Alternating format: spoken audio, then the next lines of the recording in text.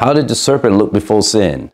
There's no biblical account given outside the fact that evidently uh, some commentaries, like the Scofield Bible, will say that the serpent had the ability of flight. Uh, not flight, but that evidently he was walking. Uh, that's what they will say. But according to other accounts and according to uh, different hieroglyphic writings and archaeological findings, the serpent evidently had at one time wings and that he had the ability to fly. And this is why some of the ancient uh, hieroglyphics show, uh, some of the ancient archaeological findings show serpents with wings. And evidently he had the ability to fly and could wrangle his way through the air. That probably was a beautiful thing, beautiful sight to see a beautiful a serpent with wings flying and wrangling his way through the air like this. And can you imagine how beautiful it was? A beautiful varnished gold serpent.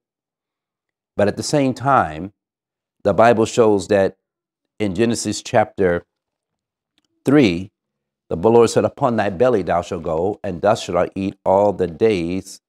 Listen to this very carefully, dealing with it um, in Genesis chapter 3, when God curses the serpent. Listen what he says here. All right?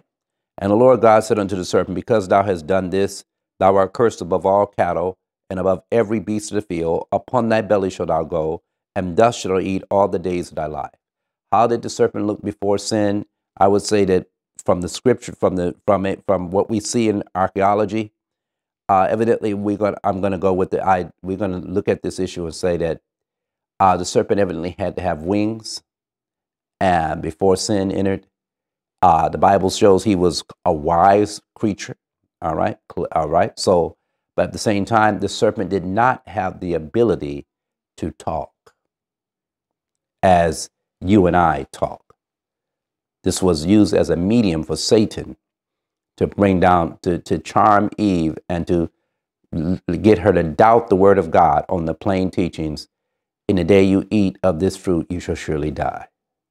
This is where the issue of immortality of the soul comes in, where people begin to believe that you die and you live on, there's life, and that you can die and live on.